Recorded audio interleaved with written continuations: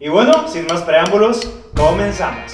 Esta es la interfase de Premiere Pro. Lo primero que tenemos que hacer es crear un proyecto. Hacemos clic en archivo, nuevo, proyecto. Le pones un nombre y lo guardamos en una carpeta y aceptamos. Ahora, tenemos que agregar los videos. Para hacerlo puedes arrastrarlos o hacer doble clic en el área del proyecto. Aquí tenemos las herramientas principales. Aquí es la línea del tiempo. Esta es el área de previsualización. Para editar haz doble clic sobre el video. Selecciona el área que quieras y lo arrastras a la línea del tiempo. Si quieres solo la imagen, lo arrastras de aquí. Y si quieres solo el audio, de aquí. De igual forma, si quieres arrastrarlos todos juntos, lo puedes hacer desde acá. La línea del tiempo se divide en video y en audio. Agregamos nuestro audio. Para estirarlo en forma vertical lo hacemos desde aquí.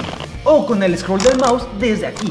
Desde acá podemos estirarlo en forma horizontal. Listo, ahora que lo podemos ver mejor, empecemos a cortar. Presionamos la letra C o en la herramienta cuchilla cortamos a nuestro antojo. Aquí hay un espacio, dale clic derecho y eliminar rizo. ¡Genial! Si queremos bajar el volumen podemos presionar la letra P y hacer unos clics aquí y aquí. Bajamos y el volumen incrementará poco a poco. ¡Oh my god! Transiciones lo olvidaba. Nos vamos a esta área. Hacemos clic en efectos, transiciones de video, disolver, disolución cruzada. Lo arrastramos en medio de ambos clics y listo. Texto, texto, texto. Regresamos a nuestro proyecto. Hacemos clic en nuevo elemento, título. Aceptamos. Escribimos lo que quieras. Y listo, ahora solo tenemos que arrastrarlo a la línea del tiempo. Lo acomodamos, perfecto. Ahora, para exportar, presiona Control M, selecciona el formato, ajuste predeterminado, elige la carpeta donde lo quieras y le damos a exportar. Y listo, ya tienes tu video terminado.